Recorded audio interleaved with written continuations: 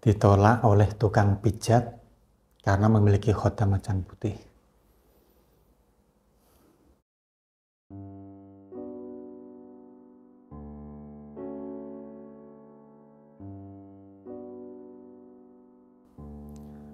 Assalamualaikum warahmatullahi wabarakatuh.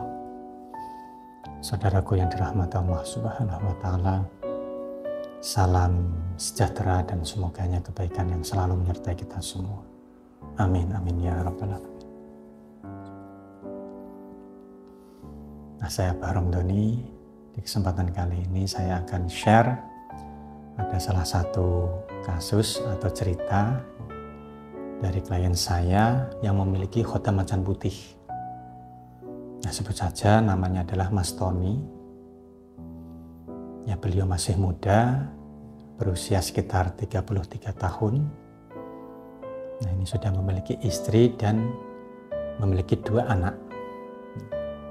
Nah, awal mula mengenal beliau adalah ketika beliau ini bermasalah di pekerjaannya Kemudian beliau itu memahar mustika junjung derajat sebagai usaha batin atau usaha spiritual ya, guna menunjang pekerjaannya untuk ke depannya. Nah beliau ini seorang PNS, ya, seorang PNS. Nah semenjak menggunakan mustika junjung derajat, urusan-urusan pekerjaan beliau ini lebih lancar, alhamdulillah. Nah, sing, singkat cerita, ya, beliau ini berkunjung ya ke uh, datang langsung ke tempat saya dan konsultasi, ya, ingin memiliki khotam macan putih.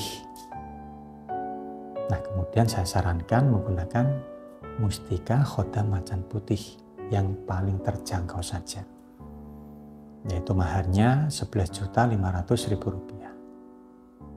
Nah, Semenjak menggunakan mustika ini, dari penuturan Mas Tony ini, beliau itu mengalami beberapa kejadian yang cukup menarik.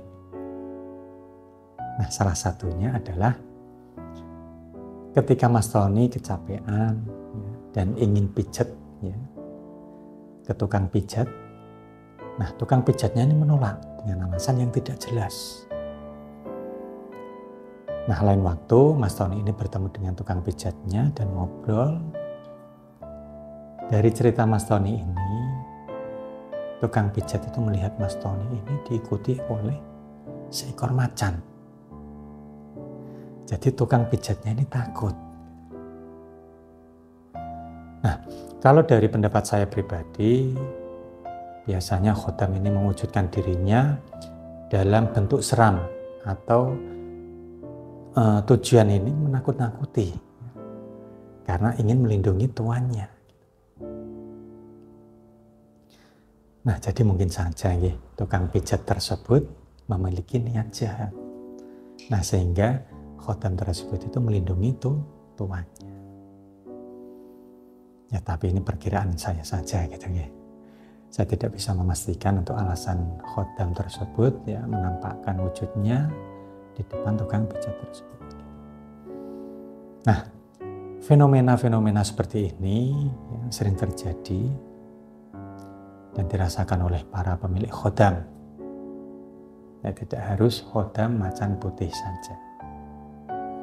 Nah ini kebetulan saja ya yang sedang membuat uh, saya buat video ini tentang uh, khodam macan putih ya, untuk channel ini. Nah, jadi saya teringat untuk cerita dari Mas Tony. Nah, inti dari video ini, insya Allah ya, Kota Macan Putih ini bisa melindungi Anda ya, dari orang-orang yang mungkin memiliki niat jahat kepada Anda. Nah, itu saja yang bisa saya sampaikan. Semoga ini bisa memberikan manfaat uh, atau pencerahan untuk Anda ke depannya. Jika Anda belum subscribe channel ini, silahkan klik subscribe, like, dan share agar channel ini semakin berkembang dan bisa uh, apa namanya, uh, membantu Anda dan orang-orang di sekitar Anda semuanya. Terima kasih buat saudaraku semua. Jika ada kebenaran yang saya katakan, adalah anugerah dari Allah Subhanahu wa taala. Namun jika ada salah kata, saya pribadi mohon maaf. Nah, saya Barom Doni pamit undur diri. Wallahul muwaffiq Wassalamualaikum warahmatullahi wabarakatuh.